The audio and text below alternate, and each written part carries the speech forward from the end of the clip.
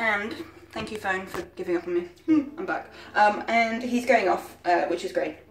Thank you, Stephen. So um, I'm gonna try something um, to give it a bit more protection, which is stoma paste. The thing I have now discovered with stoma paste is you got to warm it up to get it out the tube. I've got sore joints in my fingers, so I've been finding that hard. My new thing, you pop your paste in a little bit of warm water. Done. Warms the thing up for you. It's not got into the tube. I just chucked it in the sink in the warm water. It was like a miracle. Um, so I've worked out how you get the stuff out without having to squeeze it. Oh my goodness gracious me. Without having to squeeze it and like battle with it. This stuff stinks. This stuff is not very nice. Um, it, it's Stomahesive, doodah, what's it, majiggy, Convatec paste, but it heals. Um, problem is it's got alcohol in it. So this right here is gonna blooming hurt. But I'm kind of thinking, because he's going off so much, I'm having to kind of rub off my protective spray um, over and over again, so it's not working. So I'm thinking, put a big, thick layer of protection on instead. Here it goes. And that Oh my gosh. And it does sting. um, and hope for the best. Um, this, this is, yeah, not not for the faint-hearted. I'm gonna be honest, because this really hurts. You gotta do what you gotta do. So he's gonna have a little bit of stuff. So I'm hoping now, because that's, hopefully, I won't have to rub that off, because hopefully it's gonna stop for like two seconds. Please, please. Um, um, so yeah, I've waited a minute and kind of dried it a bit, and I'm now desperately trying to get this um,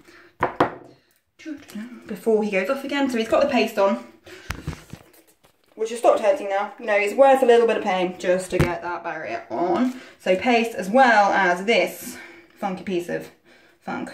Stretch it a tiny bit, pop it on. Oh, marvellous.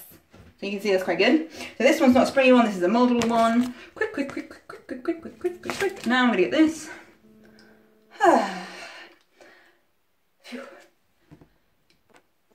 I'm a little bit concerned that I haven't managed to get all the output off before getting all this on. Um, because he was decided he was going to have a moment, um, I did wash and then reapply the barrier spray and then the paste.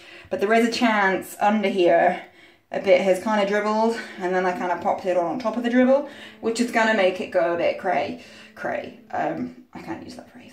Crazy.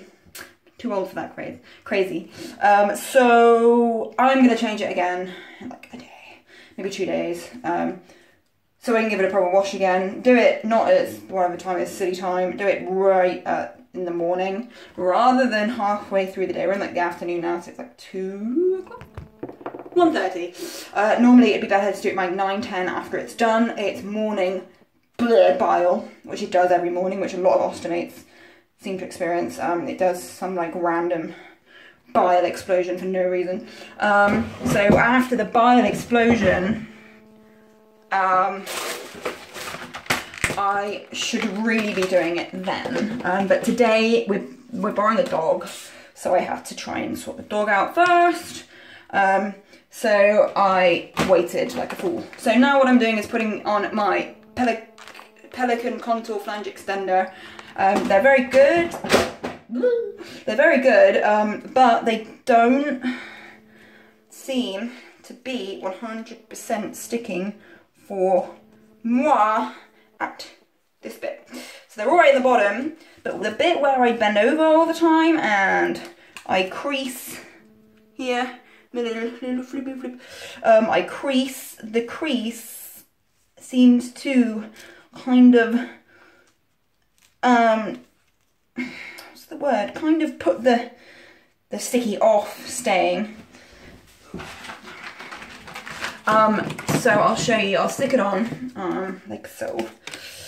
Sorry my videos are so long, I, I can't, I'm not very good at this whole editing thing, so I try and do one big video and stick it on, rather than what I should be doing, which is sticking a load of little videos together, then cutting out the crap uh, that I talk about and only putting in the important stuff, but I tried that, I'm not very good, so it just has to be one long blah, blah, blah. Um, so here, you can see, anyway, I bend. I like a thousand belly flubs because of my scarring and because I'm not get a six pack or anything like that. So they're not going to be firm. I put on a silly voice when I'm embarrassed in case you couldn't tell. So they're not firm. Um, so I, I belly flub. And this bit peels off. And it's not like it's going to fall off. It just bugs me a bit because it's flapping down and then the flap gets a bit of fluff on it and then it looks like you're not really clean. So that, that's the problem. Um, but I've run out of the new ones that I'm trying, which is the Trio. Um, the Trio, again, their edges seem to be really good. They seem to not fall off. I don't think. I might be allergic, which is why I've got some soreness, but I might not. It might just be my, you know, we've had a had a stressful time recently anyway, with life in general being a bit blue. So it could be stress-induced skin problems. It could be trio-induced skin problems. Um, so yeah, um, I am done now. This is me trying something new for sore skin, just to sum up. Um, you know, we're looking at Crohn's, we're looking at ostomies, we're looking at... Bleh.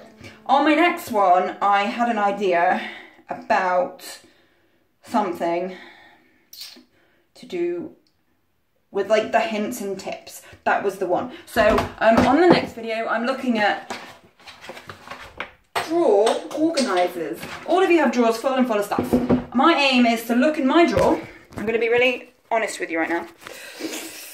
Look in my drawer. I don't know how to do it. I have to do it like that. And show you the mess. Woo! So what I'm going to do is organise the mess in the next one and kind of look into cheap ways of making your drawer nice and tidy and stopping the stress of stoma mess. I think that was a nice rhyme to end on there. So yeah, we'll do that next time. I am going to get dressed. Thanks guys.